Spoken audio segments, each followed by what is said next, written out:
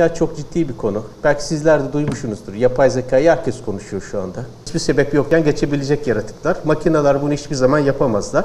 E, Çünkü 100 tane insanın kol gücünü tek bir makine yapabiliyor. Veya ne gerek var?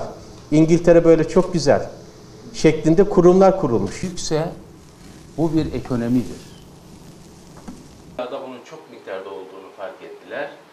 Tahıllı tek elden yönetmeyi başarabilseydi, olarak. Yani yazları bizde dijital veriye sahip olmak geleceğin medeniyet ve teknoloji yarışında öncü olmayı gerektirecek bir pozisyona geldi. Bugün sadece Google'un 1 milyon 500 bin metrekare veri merkezi var.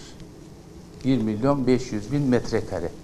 Şimdi şöyle hesaplarsak her bir metrekarede e, yaklaşık 4 server'ın, bilgisayarın olacağını düşünürsek e, 6 milyon server'ın çalıştığı bir birimden bahsediyoruz.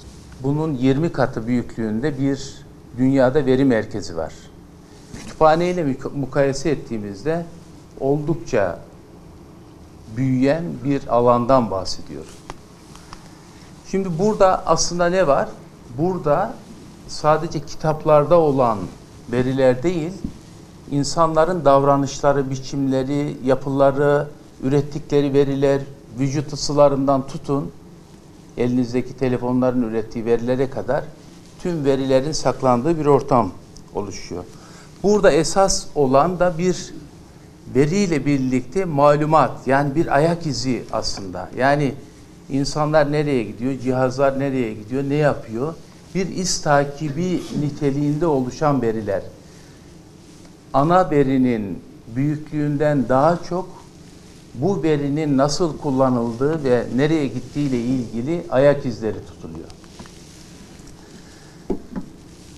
Oluşan bu devasa verinin yüzde 95'i kişisel verilerden oluşuyor.